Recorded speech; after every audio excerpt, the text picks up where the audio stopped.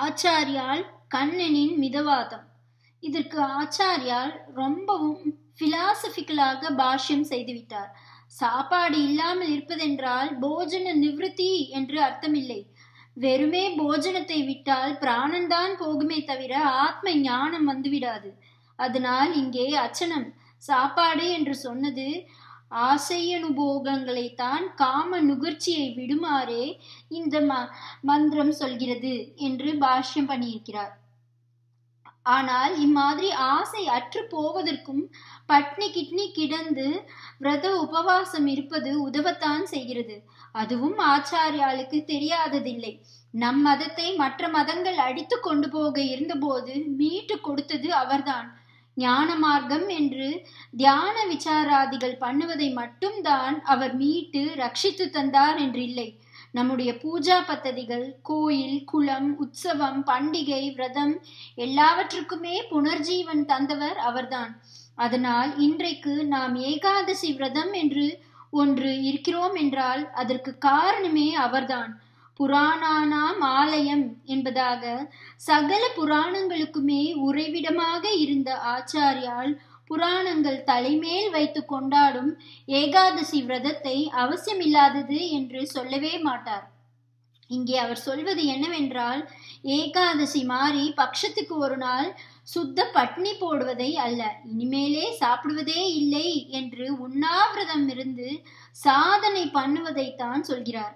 அந்த மாதிரி ஒரே தீவிரமாக போகிறதில் ஒன்றும் பிரயோஜனம் இல்லை அவ்வப்போது ஒருவேளை அல்லது ஒரே ஒரு நாள் பட்னி போடுவது என்பது நேச்சருக்கே அனுகூலமாக இருப்பது. ஒரே அடியாக சாகர மட்டும் உண்ணாவிரதம் என்றால் அது நேச்சரை எதிர்த்து கொண்டு போவதாகும். அப்போது நேச்சரும் பழிவாங்கும்.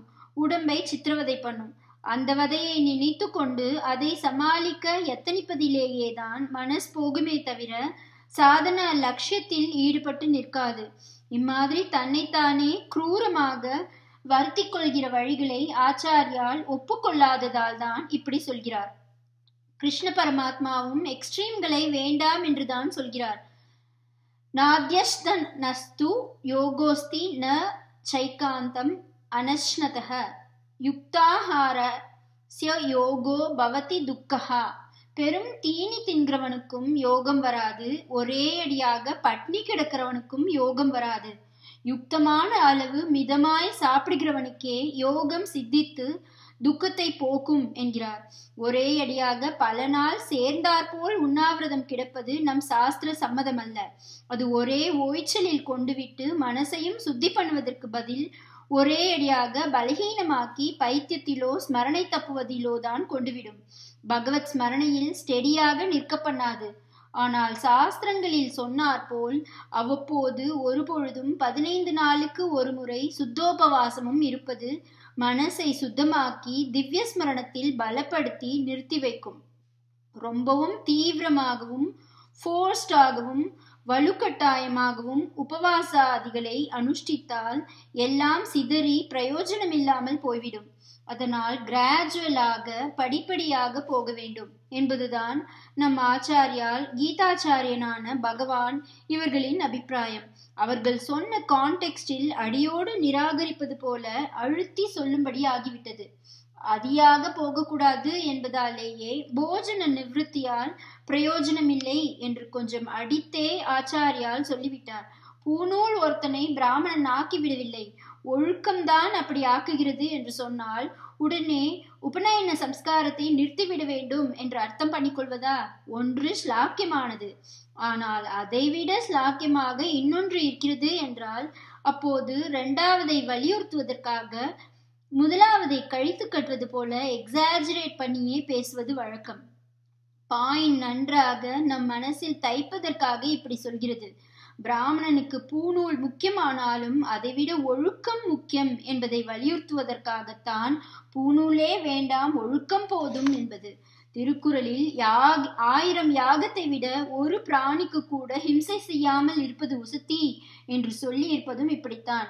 கீதையில் இன்னொரு இடத்திலும் ஒரு ஆச்சாரத்தின் முக்கியத்துவத்தை வலியுறுத்துவதற்காகவே இன்னொரு ஆச்சாரத்தை மட்டம் தட்டி கழித்து கட்டி பேசியிருக்கிறார். அக்னியை விட்டுவிட்டதால் ஒருத்தன் சந்நியாசி இல்லை. கர்மாவை விட்டுவிட்டதால் ஒருத்தன் சந்நியாசி இல்லை என்று அங்கே பகவான் சொல்கிறார்.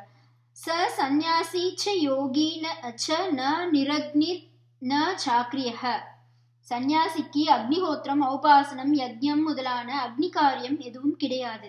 அவனுக்கு மற்ற பூஜை முதலான கர்மாக்களும் சமூக கடமைகளும் கூட கிடையாது. இது சகல சாஸ்திரங்களாலும் ஏற்படுத்தப்பட்ட சந்நியாசிரம தர்மமாகும். அப்படி இருக்க நிரக்னி அக்னியை விட்டவன் அக்ரியன் கர்மா இல்லாதவன் என்பதால் ஒருத்தன் சந்நியாசி ஆகிவிட மாட்டான் என்றால் எப்படி சரியாகும்? இதற்கு ஸ்லோகத்தின் இன்னொரு வரியை இதற்கு முந்தி வருகிற முதல் வரியை பார்க்க வேண்டும். அதிலே அனாஸ்ரிதக கர்ம பலம் காரியம் கர்ம கரோதி யஹ என்கிறார். தானாக எந்த காரியம் வந்து வாய்த்தாலும் அதை தான் பண்கிறோம் என்று உணர்ச்சி இல்லாமல் பண்ணிக்கொண்டு அந்த கர்மாவின் பலனை கொஞ்சம் கூட கருதாமல் இருப்பதுதான் உண்மையான சந்நியாச லட்சணம் என்பது பகவான் அபிப்பிராயம். அதைத்தான் இந்த வரியில் சொல்லியிருக்கிறார். இப்படி கர்மபலனில் பலனில் இருந்து கொண்டு எவன் வாய்த்த கர்மாவை பண்ணுகிறானோ அப்படிப்பட்டவனே சந்நியாசி. அவனே யோகி. ச சந்நியாசி ச யோகி ச என்று முத்தாய்ப்பு வைத்துவிட்டு அப்புறம்தான் அதற்கு இன்னும் வலு கொடுப்பதற்காக ந நிரக்னிர் ந சாக்கிரியக நெருப்பை விட்டவனோ கர்மாவை விட்டவனோ இல்லை என்கிறார். இதற்கு சரியாக அர்த்தம் பண்ணி கொண்டால் சந்நியாச ஆசிரமத்தில் இருக்கிற ஒருவன் வெறுமே நிற்பை நெருப்பை விட்டேன் கர்மாவை விட்டேன் என்று சொல்லிக்கொண்டே சொந்த பலனை உத்தேசித்து வேலைகள் பண்ணி கொண்டிருந்தால் அது சந்நியாசமே இல்லை என்று பகவான் சொல்வதாகவே ஆகும். இவன் அக்னியை விடத்தான் வேண்டும். தான் கர்த்தா என்ற எண்ணத்தோடு கர்மா செய்வதை விடத்தான் வேண்டும். ஆனாலும் இதைவிட முக்கியம் பலனை எதிர்பார்க்காமல் பட்டு கொள்ளாமல் வாய்த்த கர்மாவை பண்ண வேண்டும் என்பதே அர்த்தம். உபனிஷத்திலே சொல்லி இருக்கிற அனாச்சிகேன என்பதற்கு போஜனத்தை விட்டுவிட்டு என்றும் அர்த்தம்தான். ஆனால் அதைவிட முக்கியமான அர்த்தம் இந்திரிய இச்சைகளை பூர்த்தி பண்ணிக்கொள்வதை விட்டுவிட்டு என்பதே ஆகும். இந்த அபிப்பிராயத்துக்கு அழுத்தம் கொடுப்பதற்காகவே ஆச்சாரியால் போஜனத்தை விடுவது இங்கே தாத்பரியமில்லை என்கிறார்.